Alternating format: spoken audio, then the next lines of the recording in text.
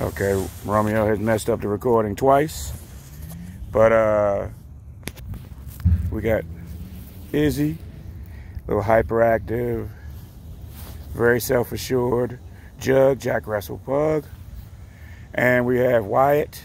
He's a long time client, member of the pack, been abused. We're working him out of that. I've tethered those two to see if some if her self-assuredness can be conveyed to him on a dog level. Let's go.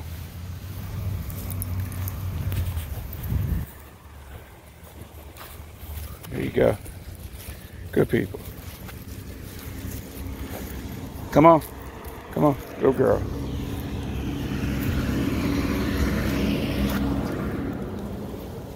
Romeo right there. Good Romeo. What's up, babe? All right. Oh, it's, it's lengthening. I need to get a, a shorter tether, but it is what it is today. I'll try to control her. I want them side by side as much as possible, close. Uh-uh, come on. Nope, come on. Good people. And his tail is in pretty good, well, was in migratory mode.